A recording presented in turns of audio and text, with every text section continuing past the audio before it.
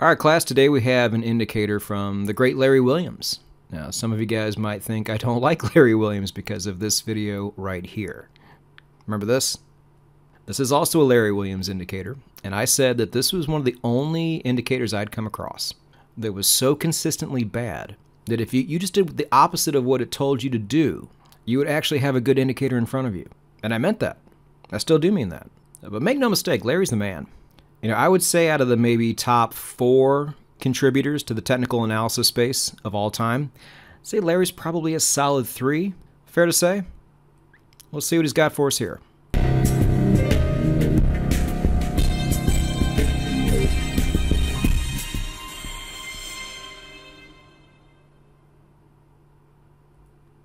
It's the Larry Williams Proxy Index. That's right, even though it's Larry Williams, this one is a bit more on the obscure side. Uh, but like every video we do, we try to find you indicators that work well in certain applications, um, but also indicators that have a little bit of an interesting twist here or there to them. You know, this one certainly fits the bill. So before we start, if you're brand new, enjoy the video, but it's not going to make a whole lot of sense to you. But this channel will make a lot of sense to you if you start from the beginning. So go to nononsenseforex.com, watch the video I have on that homepage, and get yourself started. You are going to enjoy the journey hundreds of thousands of traders already have.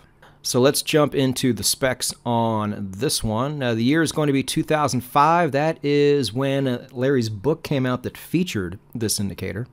Now, it is going to be a confirmation indicator as well. Uh, but subtype is where things get a bit different. Now, this isn't going to be a completely foreign concept to a lot of you. But this is not a zero cross confirmation indicator. This is a 50 cross. Why? Because the line where the zero would be is actually 50.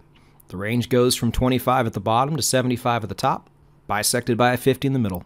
Real easy. You'll see what I mean in a minute. And as an exit indicator, in my opinion, probably not the best idea.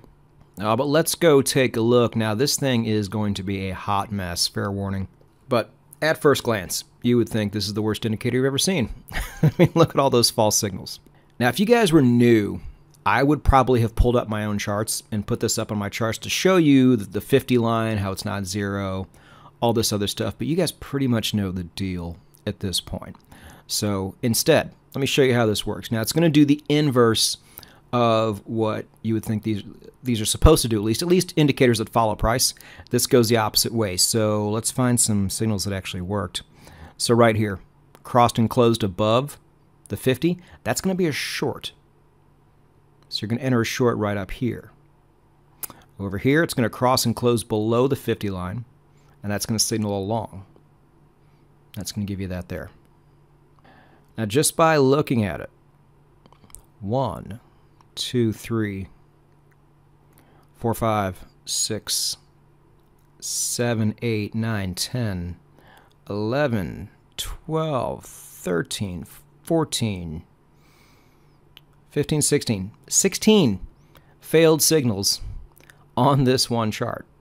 Now, I said in a video before that if they show you an example on any of the forums where you go and download indicators, and the example looks this bad, it's probably not a very good indicator because they should be showing you how well the indicator does when it works really well.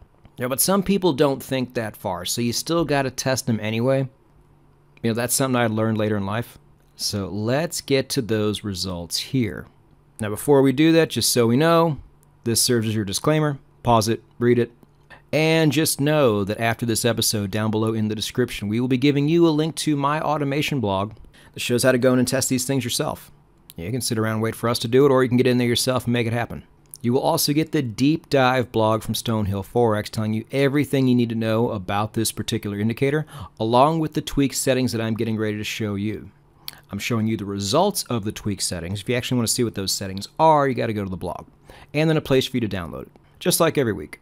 Okay, so on to Euro USD. Now, as bad as you saw that example, when everything was ran, that's I mean it's almost break even, you know, for something that low. But after the tweaks, did make it quite respectable. And one of the things you're going to notice on the tweaks, well, one of the things you're going to notice with this indicator itself is there's only one setting you can even mess with on here. So it's just a matter of how smooth do you want this thing smoothed out. Now, I'm not sure where exactly Dan had it in that example, uh, but that was pretty gross. Um, it just goes to show that you can actually make it quite a bit better.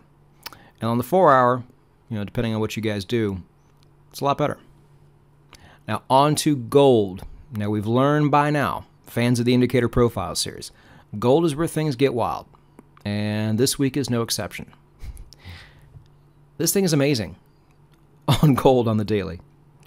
I don't know why, but it is. I mean, look at that win loss ratio. And total trades are right in a good zone. I mean, that's that's good.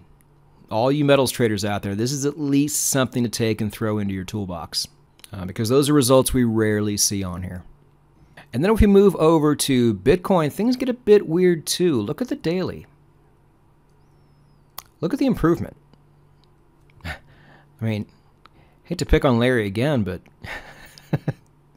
this is another indicator that you could probably put on Bitcoin, do the opposite of what it tells you to do, and do awfully darn well, at least on the default settings. Uh, but hey, is what it is, and after the basic tweaks, you got some pretty nice numbers here. So that will conclude the video for the Larry Williams Proxy Index. If you like what we're doing, subscribe, hit the bell. Don't miss anything. We'll keep them coming. Go get it.